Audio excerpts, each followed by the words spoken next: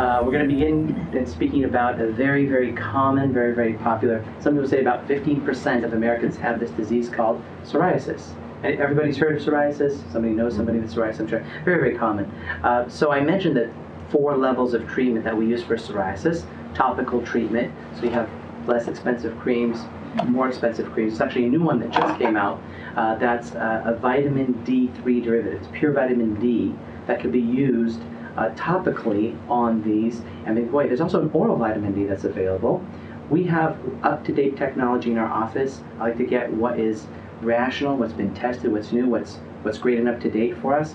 And we have a narrowband UVB machine, which instead of in the past you'd have to take pills and wear these ugly looking glasses for a day, we have uh, a laser, unique one one wavelength kind of light. It's like a light booth that you walk into, and it makes it so that all the side effects of that broadband light that used to be used are no longer there. So you just get that one wavelength, so it's much more effective and less side effects, less risk, less risk for skin cancer with a narrowband UVB technology. Has been very, very successful. We've had people coming. It takes a year sometimes. It takes a month or two sometimes, depending on the disease. But it's successful for psoriasis. It's been more successful, and we'll see later on for vitiligo people Michael Jackson's disease, people that lose their color, lose a pigment in their skin. That takes a while, I must say. So we kind of use it slowly because one can burn with this. It's it's very powerful lights. There's 74 light bulbs in there shining on you. It's much more intense than a tanning booth. Um, but it's phenomenal for people that are losing pigment on their face and on their hands and don't want to show things. But we'll get more into that later. There are oral medications we can use for this, mostly immunosuppressants, because it's related to the immune system psoriasis. So if we, it's a hyperimmune system. If we slow down our immune system, then the psoriasis melts away. Things like methotrexate, cyclosporin, and then we have the brand new stuff coming out. There's about 12 of them out now, called biologics, and what they they vary. Some of them, like Humira, if you've heard of Humira, and Enbrel, you can just hi, welcome. You a seat right over here. Um, Humira, Enbrel, you, you probably see commercials on TV for these things. They're good for rheumatoid arthritis, ankylosing spondylitis are great for psoriasis as well. They're very expensive though. We usually have to try one of these regimens before the insurance companies nowadays let you try something like this. Some of these cost about $30,000 a year just to administer. Some of them are quite phenomenal though. I've had patients that just don't do well with any of these. And one of these you can take intravenously. You get an initial shot, and then you get it once every 8 to 12 weeks. And that's it. Psoriasis is gone. Just get an infusion for one hour every 8 to 12 weeks, and it suppresses everything. It's pretty phenomenal. You don't have to remember smearing creams on, this and that. You know, just one shot, done. You know, it's pretty phenomenal. Uh, expensive, but has a role in, in what we do. It's sort of a cousin of psoriasis called seborrheic dermatitis. Very, very common. Even I have it, I admit. And we can use light topical steroids. People who can't afford or don't have insurance, don't have a prescription, can use 1% hydrocortisone over the counter twice a day, one you know, for a week, 10 days, uh, 14 days, it depends how severe it is. Here you see a little redness and scaling in her folds right over here. And then it goes a little bit redness and scaling in the brows, kind of like a little T-zone thing. And then in the chin area. And uh, very often it appears in the scalp. Some people call it dandruff. Dandruff can be just a dry scalp, but it can also be associated with redness inflammation, sort of like a suppressed psoriasis. There are new medications also called uh, T1 immunosuppressants. One is called Elidel, another one is called Protopic, which are non-steroid immunosuppressants. So if we use those in a short course, small period of time, you can have people don't want to use steroids, they're afraid of the side effects. We would never use such strong steroids on the face anyways. Um, this is another option, and then there's shampoos too. I'm not saying to shampoo your face by any means, but there's shampoos for the scalp that one can use either over the counter or prescription. Uh, the prescription ones, obviously, cost is a big thing for us as well as, as efficacy and people actually doing what we tell them to do. It's important. You can't just give a prescription and expect, uh, expect somebody to do it. Um, people have different schedules. You know, teenagers have different abilities to do things depending on their sports schedule. So um, there are different shampoos, even over the counter. T-Sal, T-Gel, Head and Shoulders will recommend sometimes. Or actually, what I like is a combination of them.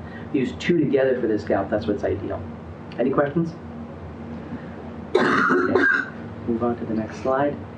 Eczema. We see eczema daily, if not uh, five times a day in the office.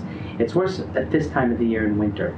Uh, we live in heated areas, not usually radiant heat, okay? Not usually radiant heat, just a dry, forced air or gas kind of heat, and it dries out our skin as well.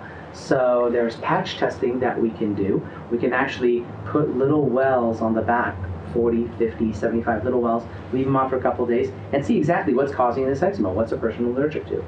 We use again topical corticosteroids. We actually use quite often in our office shots. We'll just give a, a, a, small 1 cc of a steroid shot, and then you don't have to think about smearing this once a day, twice a day, three times a day. You're done. One shot, and, and that's it. And the main thing here is not to wash your hands too often. The more you wash your hands, the more you expose your hands to soaps, etc., the more they're going to dry out, the more they're going to break out and look like this.